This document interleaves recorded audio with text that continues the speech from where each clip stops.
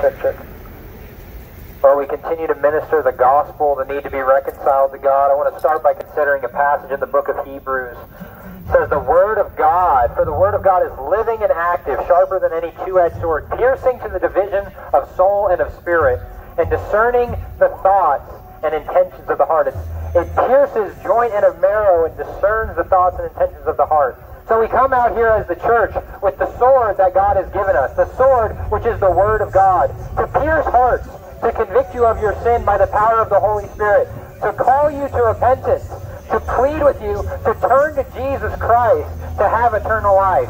The reality is that all of us have fallen short of the glory of God, and there is an utter need for you to repent and believe in Him. Rather than living a lifestyle chasing after euphoria, chasing after your lust, chasing after your sin, chasing after everything that you love. Rather than doing that, you must look to Christ because He's the means by which you can be saved from this lifestyle and saved from His wrath. See, we do not deserve God. We do not deserve Jesus Christ. We do not deserve to be in His presence. We do not deserve communion with God. And yet God in His sheer mercy and love made way through Jesus Christ. Jesus Christ is God. And He came on this earth as a man, representing us as a legal representative. See, Adam he was the first man and he represented all of mankind. And when Adam was on this earth, he rebelled against the one commandment of God. God promised life if he would just not eat of the one tree of the knowledge of good and evil. He would not eat of that fruit, there would be life. And Adam failed. He failed in this way of prospering and having life, and he chose death over life. But Jesus Christ, the second Adam, came. It says that in Adam all die, but in Christ all may be made alive. You see? So Jesus Christ is our representative. He is the one that you must cling to. Jesus Christ came, he fulfilled all of the commandments of God perfectly. He loved the Lord, the Lord, or the law of the Lord. He loved his law, and he was obedient to that law. If you look at 1 John 2, it talks about this. It talks about how we must walk in the same ways as Jesus. It says, Whoever says, I know him, but does not keep his commandments is a liar, and the truth is not in him. But whoever keeps his word, in him truly the love of God is perfected. By this we may know that we are in him. Whoever says he abides in him ought to walk in the same way in which he walked. The way in which Jesus walked was without sin. The book of Hebrews says that we do not have a high priest who is unable to sympathize with our weaknesses, but one who in every respect has been tempted as we are, yet without sin. So why is it so important that Jesus Christ is without sin? Well, he represents us. He represents those who have faith in him. Through faith in Jesus, God the Father can look upon me as a child of God, even though all I've done in my life is live as an enemy of the cross. God's wrath should be upon me. But rather than having his wrath because I believe in Jesus Christ, because I've confessed with my mouth that Jesus is Lord, I'm seen as perfectly righteous, even though I haven't lived righteously.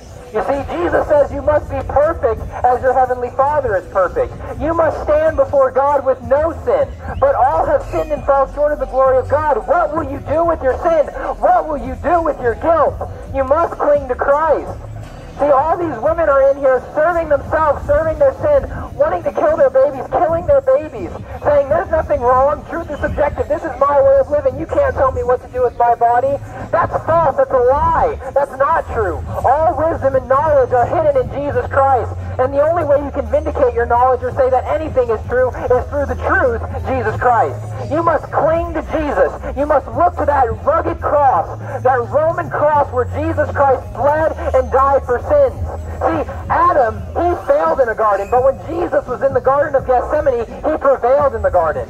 He endured temptation, and yet he was without sin. And he went and he died. Why did Jesus have to die? Because the wages of sin is death. And Ezekiel 18 says, the soul who sins shall die. Death entered the world because of Adam. Adam could have had life, but he ate of the tree of the knowledge of good and evil. And every time you sin, you're choosing death over life. The scriptures say, all who hate me love death. So when you're trying to blare out, you're trying to zone out the gospel, you're trying to snuff it out of your life, that reveals that you hate you hate God and you love death.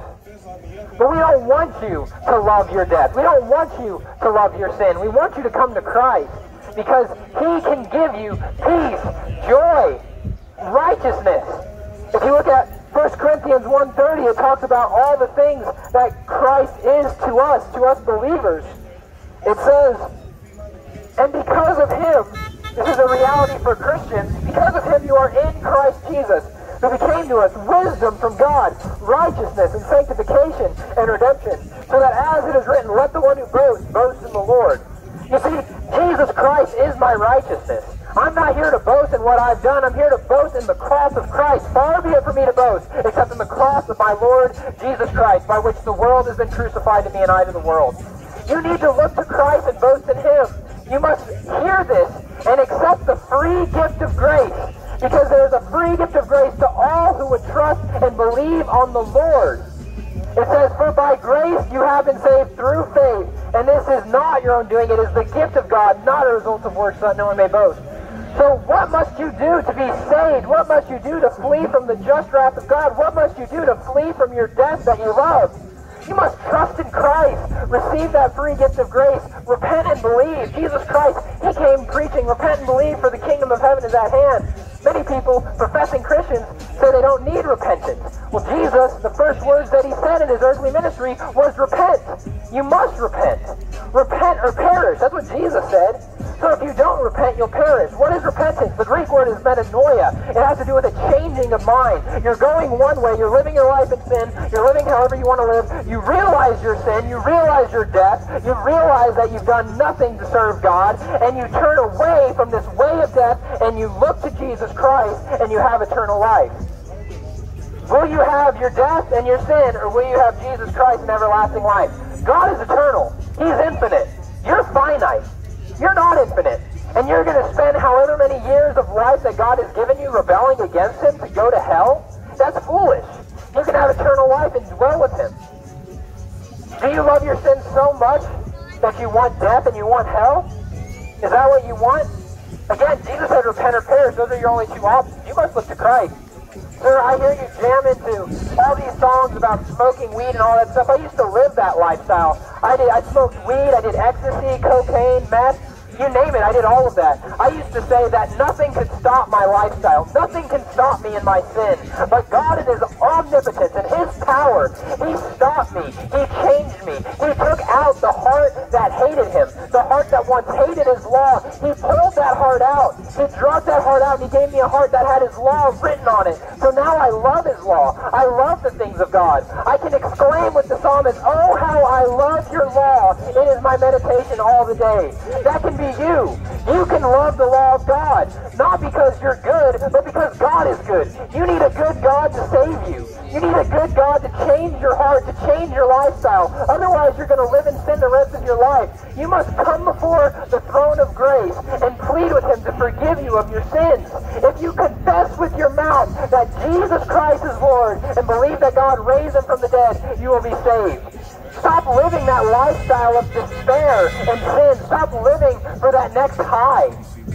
It's futile. I've lived that lifestyle. You're just living for the next high. That's all you're living for. You don't even want anything but that weed or that ecstasy or whatever it is that gets you off.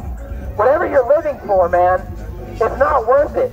You're just waiting for the next high dying, perishing. You're perishing. All those who don't believe in Christ are perishing, but all those who have Jesus Christ have everlasting life. For God so loved the world that he gave his only Son so that whoever would believe in him would not perish, but have eternal life. We're offering a free gift of grace through the scriptures, through God. What he commissioned his church to do is to go out into all the world and make disciples of all nations, teaching them to observe all that he's commanded, baptizing them in the name of the Father and the Son and the, and the Holy Spirit. The scriptures say that all authority in heaven and on earth has been given to Christ. All authority. The Greek is pasa exousia what does pasa exousia mean? Well, it could mean all power or all authority, and both are true. So when we're talking about the Great Commission, we're talking about the all-powerful God who's going to win the world, and all nations shall flow to the mountain of God and worship God and love Him, love His law, have the law written on the heart. The, the coastlands are waiting for the law of God. The nations are going to be won to King Jesus. Are you going to be on the side that's victorious or the side of defeat? Are you going to be on the losing side? Are you going to be on the side of your flesh and your sin? See, Jesus Christ, he came to destroy the works of the devil, and he did. He wrecked Satan on the cross. There was a prophecy, the Proto-Evangelion, the first proclamation of the gospel was in Genesis 3.15. And it says that that the Messiah was going to come and he was going to crush the head of the serpent. And that's exactly what he did. He disarmed all rulers. He disarmed, disarmed all principalities. He's defeated Satan. He's cast him out. He says, now the ruler of the world is cast out, and now I will draw all men to myself. Satan's gone. He is defeated. Now I'm going to win the world because of the cross. I'm going to win the world through my gospel. So are you going to take part of that victory? Or are you going to be on the, the side of defeat? You can't win against an eternal God, man. You can't. You can't win against the infinite God. It's impossible. He's going to live on and on forever and ever, from everlasting to everlasting. He is God, and you will perish in your sin. But we, out of love for neighbor and love for God, are telling you, repent or perish. We're telling you that there is a free gift of grace for the ungodly. Jesus Christ said, I came not to call sin uh, the righteous, but sinners to repentance. If you recognize you're a sinner, you recognize you're ungodly, you must come to him. You must repent. You look at Romans 4 5, it talks about this. It says that the one who does work, his wages are not counted as a gift, but as his due. And to the one who does not work, but believes in him who justifies the ungodly, his faith is counted as righteousness. So you can stand before God as perfectly righteous, even though you're a sinner. See, God looked upon Jesus Christ as if he was a sinner, even though he wasn't. He gave Christ what you deserve. He gave Christ what I deserve. I deserve death. I should have been the one on that cross. But instead, Jesus Christ died on that cross so that I could have eternal life, everlasting life, life eternal as a free gift. Why would you toss up that free gift? You don't have to have your sins counted against you. It goes on, it says, just as David also speaks of the blessing of the one to whom God counts righteousness apart from works. See, the Bible clearly says over and over again that we are counted righteous, not because of works, but because of the perfect atonement of Jesus Christ. We're saved by Christ's work, not ours. And then it says, Blessed are those whose lawless deeds are forgiven and whose sins are covered. Blessed is the man who the Lord will not count his sin. And in the Greek it says ou mē, which is a it's a double negative. So it really is saying that there's a blessed man who the Lord never, never counts sin against him. Never, never. It's not even a possibility. It's not even possible for God to count your sin against you if you repent and come to Christ. See, if you repent and come to Christ, you will never perish. If you repent and come to Christ, you will never have to face the death penalty for your sins. You must be forgiven in Jesus. You must come to Jesus Christ. He is the only way. We plead with you. If you say you have no sin, you deceive yourselves and the truth is not in you. But if you would confess your sins, he is faithful and just to forgive you your sins and cleanse you of all unrighteousness. And that's what we want. We want you to be cleansed of your unrighteousness. We want you to be free from the bondage of your sin and become a slave of Jesus Christ. Be a slave of righteousness, not a slave to sin. You're going to be a slave of someone. Will it be your sin and your flesh? Or will it be Jesus Christ? And will you have eternal life and be on the side of victory? Come to Christ today. Thus says the Lord, Turn to me and be saved, all the ends of the earth, for I am God and there is no other. He is the only way. Come to him now.